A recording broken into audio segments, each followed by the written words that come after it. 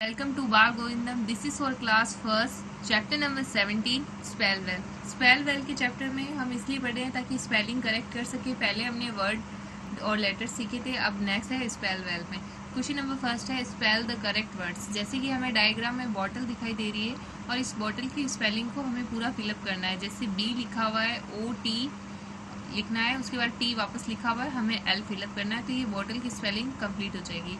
Next diagram हमें orange का दिखाई दे रहा है, और ऑरेंज की स्पेलिंग को कंप्लीट करना है। ओ लिखा हुआ है आर लिखना है ए लिखा हुआ है एन लिखना है, और जी और ई e लिखा हुआ है तो बन जाएगा ऑरेंज फिर जैसे डायग्राम में एलिफेंट दिखाई दे रहा है तो एलिफेंट की स्पेलिंग कंप्लीट करेंगे। ई e लिखा हुआ है, फिर से ई e लिखेंगे, फिर ई लिखा हुआ है, फिर एल लिखेंगे, फिर ई लिखेंगे।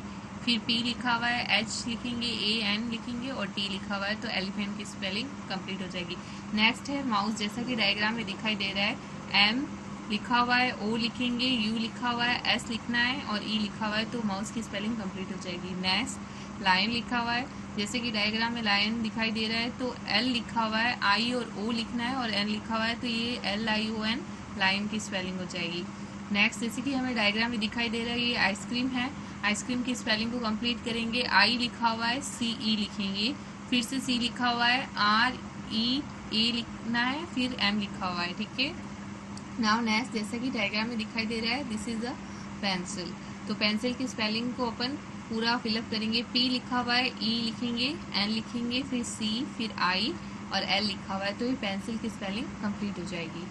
फिर है, जैसा कि डायग्राम में दिखाई दे रहा है दिस इज़ अ एरोप्लेन तो एरोप्लेन की स्पेलिंग कंप्लीट करेंगे. ए लिखा हुआ है ई लिखेंगे आर लिखा हुआ है ओ फिलअप करेंगे पी लिखा हुआ है पी लिखेंगे एल ए एन और ई लिखा हुआ है तो एरोप्लेन की स्पेलिंग कंप्लीट हो जाएगी. नेक्स्ट है मैंगो जैसा कि डायग्राम में दिखाई दे रहा है मैंगो मैंगो की स्पेलिंग कंप्लीट करेंगे. M A N G O लिखा हुआ है. नेक्स्ट डायग्राम में जैसे कि दिखाई दे रहा है हॉकी तो एच लिखा हुआ है ओ सी के लिखेंगे इसमें, फिर और के ई वाई लिखा हुआ है तो हॉकी की स्पेलिंग कंप्लीट हो जाएगी। नेक्स्ट डायग्राम के अंदर जैसे कि फुटबॉल दिखाई दे रहा है तो एफ़ लिखा हुआ है डबल ओ फिर टी लिखा हुआ है बी फिर ए फिलअप करेंगे और डबल एल लिखा हुआ है।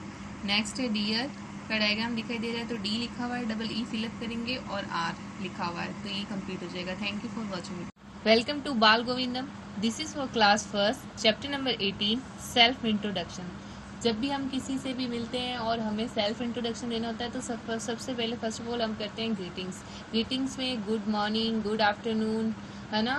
गुड इवनिंग तो अब अब चैप्टर नंबर 18 में अपन इसको और अच्छे से समझेंगे. फ़र्स्ट क्वेश्चन है व्हाट इज़ योर नेम है ना? तो ये मैं इमेजिनेशन पे इसके आंसर दे रही हूँ और आपको अपना नेम फिलअप करना है, ठीक है? अपनी डिटेल्स फिलअप करनी है.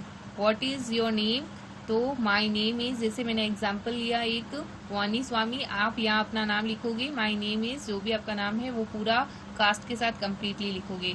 Second number what is your father's name तो मैंने जैसे कि एग्ज़ाम्पल दिया my father's name is Mr Rohit Swami पूरा कास्ट के साथ मिस्टर लगा के अपने फादर का नाम कंप्लीट आपको लिखना है। ठीक है? थर्ड नंबर पे what is your mother's name तो my mother's name is Mrs करके आपको अपनी मदर का नाम पूरा जैसे कि मैंने एग्ज़ाम्पल में समझाया है मिसिस स्वीमा स्वामी लिखा है, आप अपनी मदर का नाम मिसिस पूरा अपनी मम्मी का नाम लिख के कास्ट के साथ उसको कंप्लीट लिखोगे। फिर question number four are you a boy or a girl तो आपको इसमें देखना है are you a boy or girl तो आपको बताना है आई एम अ गर्ल अगर बॉय हो तो आपको लिखना है I am a boy next how old are you how old are you है ना? तुम कितने साल के हो? तो I am seven years old ये आपको लिखना है।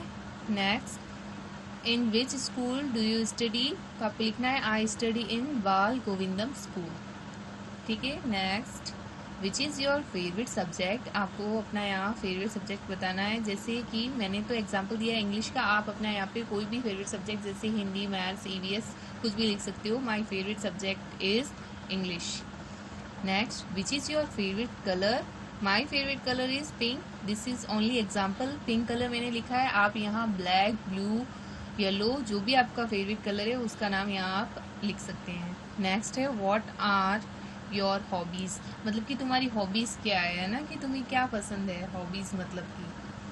तो my hobbies are dancing and singing आपकी अगर कोई और हॉबीज़ जैसे पेंटिंग करना पसंद है तो आप भी इसमें लिख सकते हैं। Thank you for watching